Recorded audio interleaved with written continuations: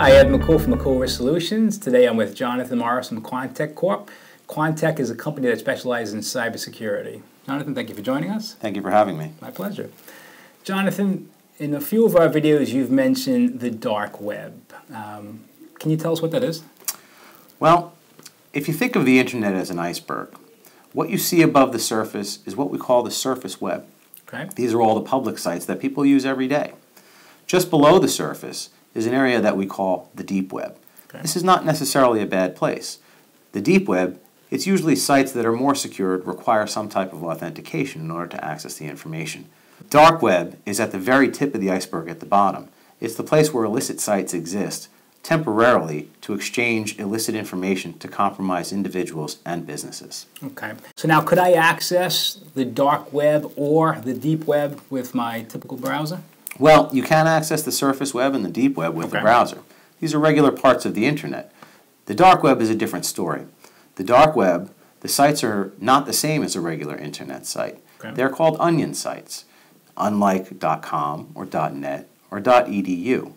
These sites require a special browser to access, and the sites never exist very long on the dark web. Okay. Now, how big is the dark web? The dark web is projected to be about 900 times larger than the surface web. Wow. And that's largely because there are so many bad actors out there looking to mine information and exchange information for cryptocurrency to compromise you and your business. Okay. What is a bad actor? A bad actor is a hacker, or what we call a black hat. These are cyber criminals. Cyber crime is basically organized crime that's gone online. Okay. And what, what are some of the crimes that are appearing on the dark web? The most common crimes are the sale of weapons and the sale of identities.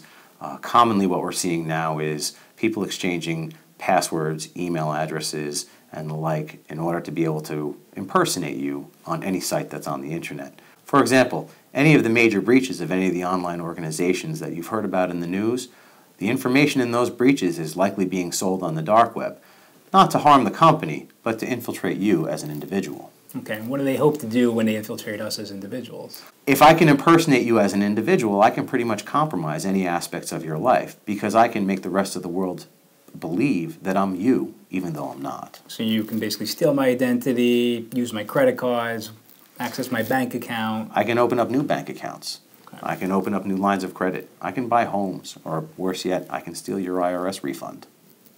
So it sounds like that information is valuable. So I'm going to assume it's very expensive to buy this information on the dark web. Ironically, the average price of an ID and a password on the dark web ranges between $1 and $8. Now, how can that be? Well, the volume of information that's available out there is, is enormous. Okay. And what happens is the attackers, depending on the volume of the information revealed from a data breach, they can set their own prices, and the market sets its own demands. Okay.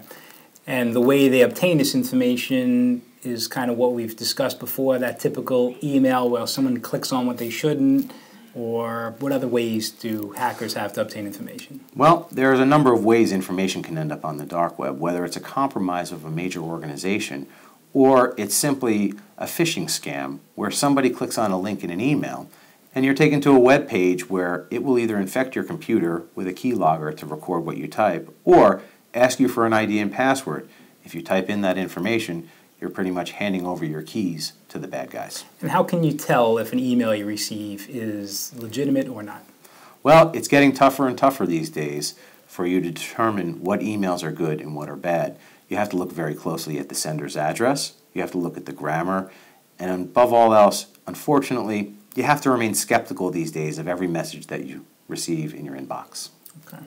Jonathan was very helpful, disturbing but helpful. Thank you very much for your time. Thank you very much. If you have any questions, our contact information will appear on the screen.